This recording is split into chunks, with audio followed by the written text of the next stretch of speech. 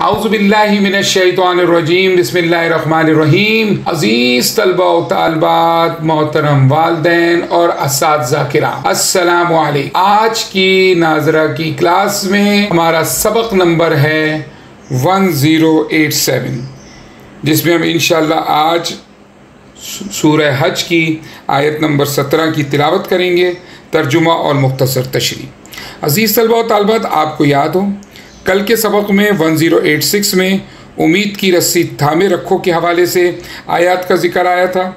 और आज हक़ पर कौन है? फ़ैसला होगा रोज़ क़यामत के हवाले से बात होगी।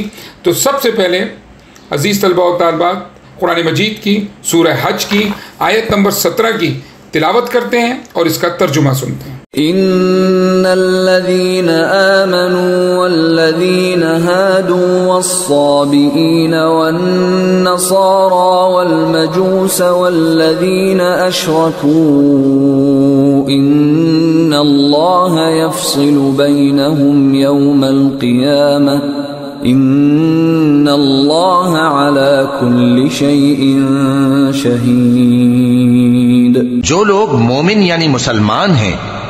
और जो यहूदी हैं और सितारा परस्त और ईसाई और मजूसी और मुशरिक, अल्लाह उन सब में क्यामत के दिन फैसला कर देगा।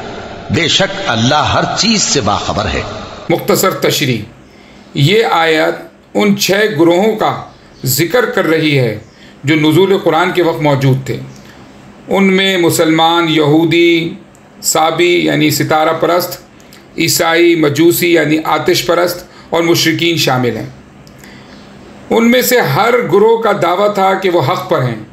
वाजे किया गया कि अल्लाह ताला हर एक के तर्ज अमल को देख रहा है और रोज़ क़यामत फ़ैसला कर देगा कि कौन हक़ पर है।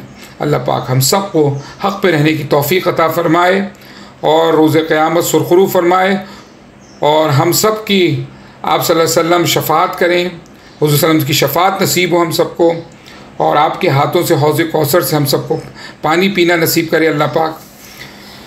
इन अज़ीज़ तलबा तलबात, कल मुलाकात होगी। कल के सबक में इन वन ज़ीरो डबल एट में हम सुरह हज की आयत नंबर अट्ठारह की तिलावत करेंगे, तर्जुमा सुनेंगे और मुख्तसर तशरी जिसमें कायनात की हर शय अल्लाह ताला को सजदा कर रही है के हवाले से बात होगी। तो आज के लिए इजाज़त दीजिए।